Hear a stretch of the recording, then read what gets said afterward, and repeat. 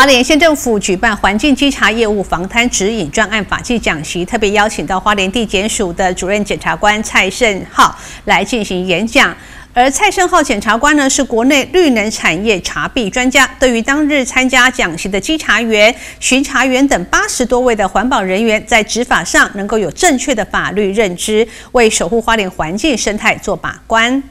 环保稽查是环境保护以及维持的重要手段，稽查之正确性以及公正性与否，无处不彰显政府对环境治理的决心。为所采取转制措施、采法的行为，乃至函送司法侦办等公权力行使，不仅影响人民权益的甚至，同时也是对环境生态永续把关。业务防贪指引专案法纪讲习，特别邀请台湾花莲地方检察署蔡胜浩主任检察官进行演讲。同时，蔡主任检察官也是国内绿能产业查弊的专家，对当日参加讲习的稽查员、巡查员等八十名环保人员在执法上有正确的法律认知，为守护花莲环境生态做把关。稽查，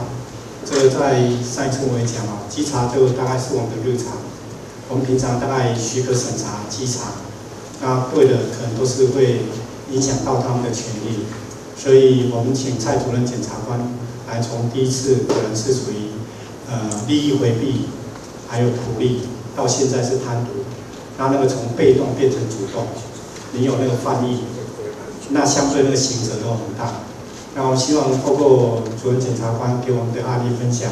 可以保大家一辈子平安。现在学员表示，以环境永续的经营面向，花莲一直都是非常有卓越的成绩，这些成果。都归功于环保局同仁们不辞辛劳的努力与环境巡守职工们不求回报的付出，而大家共同的目标就是守护花莲这个美丽的台湾后花园，打造一个宜居乐活的城市。